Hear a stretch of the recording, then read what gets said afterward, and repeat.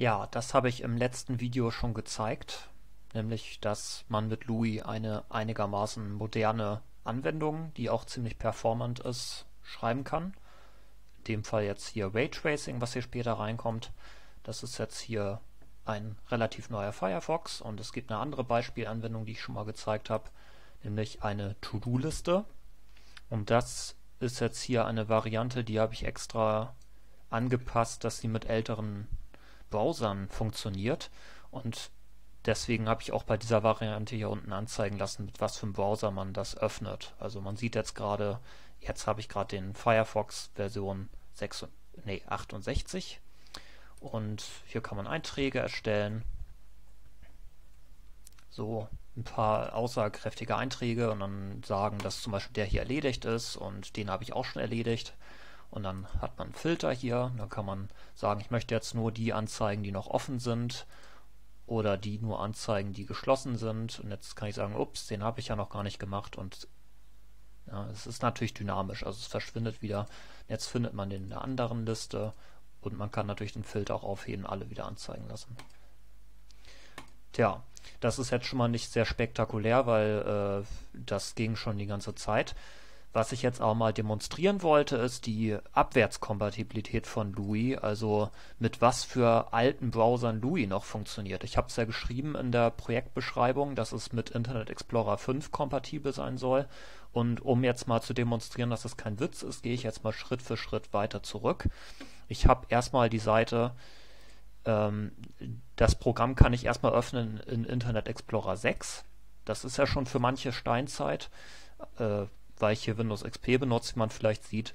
Und da kann ich mal Louis Todo öffnen. Das ist das genau gleiche Programm, was ich eben geöffnet habe. Und oh Überraschung, es funktioniert. Also man sieht hier unten der Internet Explorer 6 ist der Browser und es funktioniert auch alles exakt genauso im Firefox. Also man könnte hier eigentlich, äh, wenn man jetzt hier die Leiste oben nicht hätte, würde man überhaupt nicht merken, dass es der Internet Explorer 6 ist, weil alles funktioniert und auch ähm, ja alles sehr schnell funktioniert.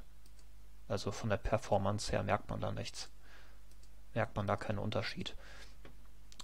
Ja, und dann äh, habe ich mir mal gedacht, dass ja der Internet Explorer 6, das ist der Browser hier, und ich habe mal erzählt, dass für MSHTA, das ist die Plattform für so Apps, die etwas mehr können, also mit der Endung HTA. Ich, ich, dachte bisher, dass es immer der Internet Explorer 5 sei und das stimmte auch, aber ich habe leider in Anführungszeichen ein Windows-Update mal installiert. Das hat das auf Internet Explorer 6 geupdatet.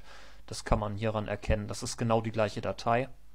Also vom Inhalt her wie äh, die, die ich in den beiden anderen Browsern geöffnet habe, nur halt mit der Endung HTA. Und man kann hier unten erkennen, MSI 6. Das heißt, es ist genau das gleiche wie in dem Internet Explorer Fenster eben, nur halt, dass wir hier ein anderes Fenster haben und die Buttons sehen anders aus, fällt mir gerade auf, aber ja, vom Verhalten auch genau das gleiche, ist ja auch Internet Explorer 6.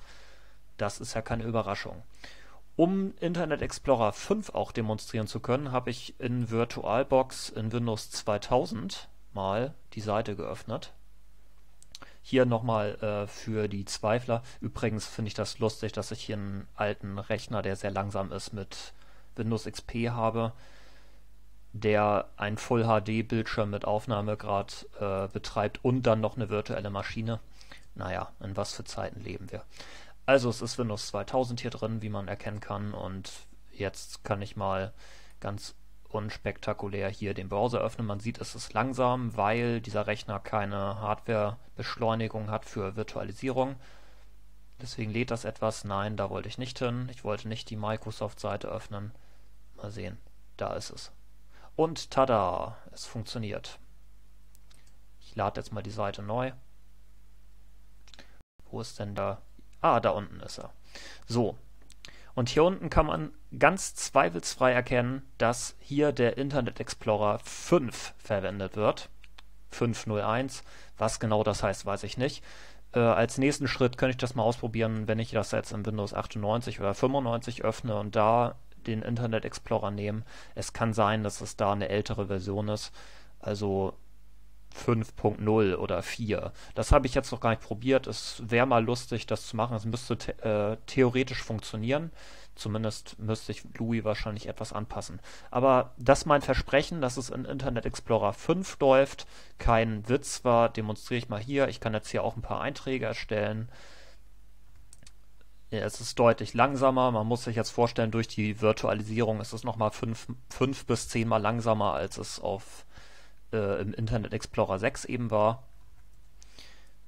So, ich kann Einträge erstellen. Es wird dynamisch erweitert. Ich kann hier die Eigenschaften ändern. Da merkt man jetzt schon die Leistung deutlich im Unterschied zu eben. Aber es funktioniert immer noch. Ich kann immer noch hier Einträge löschen zum Beispiel. Wenn man ein bisschen Geduld hat. Ich kann Einträge filtern. Kann man noch zusehen, wie er das zeichnet. Und dann ja, und um dann nochmal zu belegen, dass das hier keine ähm, Fake-App ist, die ich entwickelt habe, nur um irgendwas zeigen zu können, kann ich auch direkt den Quelltext mal anzeigen. Naja, man sieht eigentlich oben an der URL schon, dass es genau dieselbe Datei ist. Also so sieht das Programm aus. Das ist jetzt schon sehr langsam. Naja. So, jetzt mache ich das nochmal, äh, jetzt maximiere ich das Fenster nochmal, dass man etwas mehr sieht.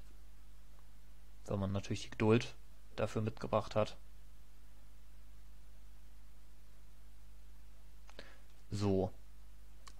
Ja, und man sieht, die bekannte Dateistruktur ist dahinter. Komponenten, halt im alten Syntax. Und jetzt kann ich ja nochmal schnell gucken, was passiert, wenn man das als HTA-Datei abspeichert. Deswegen klicke ich jetzt mal auf Datei und Speichern unter. Also diesen Quelltext nehme ich jetzt eins zu eins, lege ihn auf den Desktop und to-do HTA nenne ich die Datei mal, also damit der mit HTA geöffnet wird.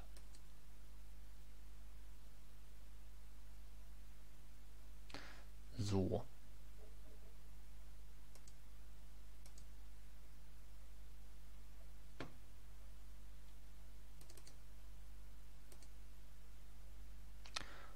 Tja, und den Rest kann man sich schon denken. Auch Internet Explorer 501.